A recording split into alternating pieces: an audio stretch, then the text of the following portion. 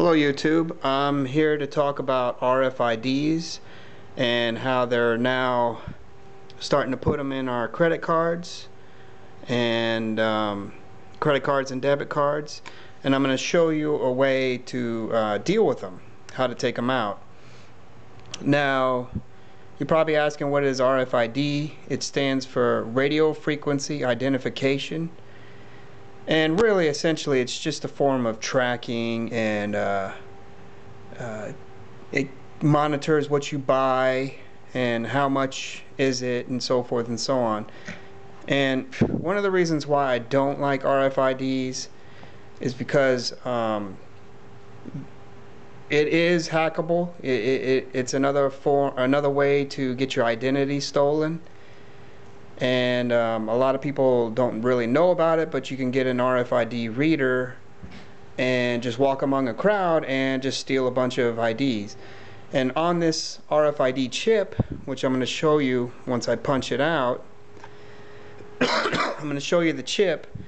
And basically it holds all the information that a bank would have on your account. It'll have like your your name your bank account number and so forth and uh, I talked to my bank and they said I don't know if it's true but they told me that it has your social security number and your address.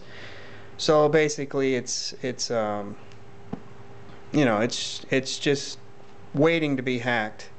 So I'm gonna show you a quick little way to um, deal with it how to punch it out. As I did on my debit card I punched a hole out all you need basically is just a hole puncher and a little marker to to kind of mark out where you need to punch.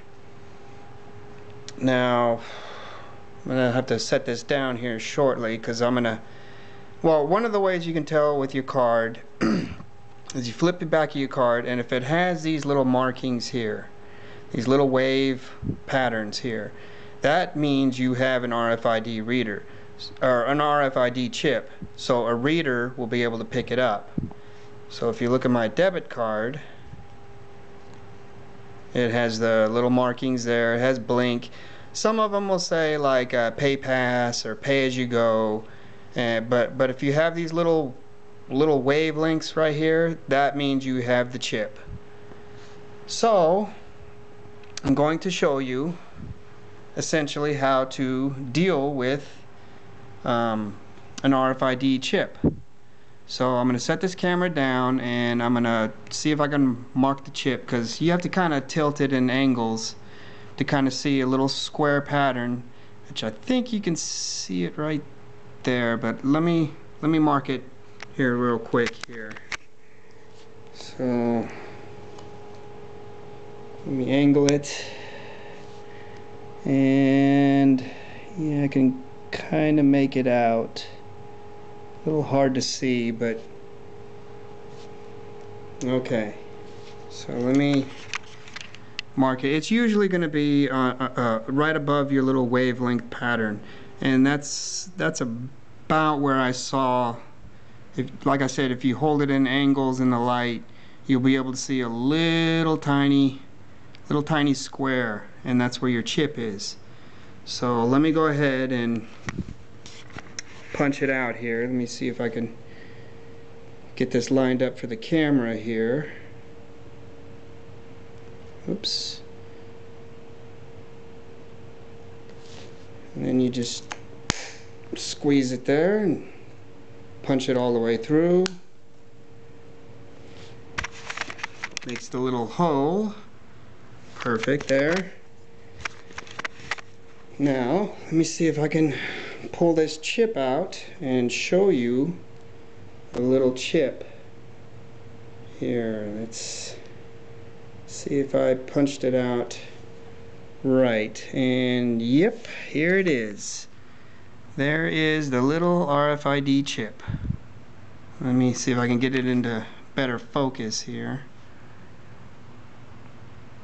Sorry, I'm a little these things are real tiny, so it's kind of hard to get it lined up.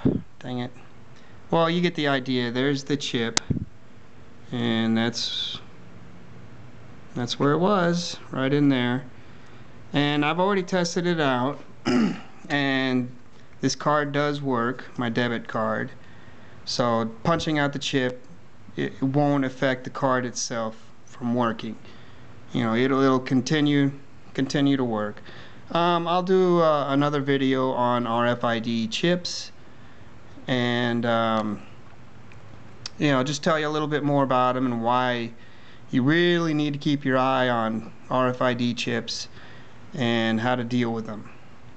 So give it a thumbs up if you if you like this, or put in a comment, no problem. And uh, and if you like to subscribe and hear more about these things, and uh, I'll get give you some more information. Thank you.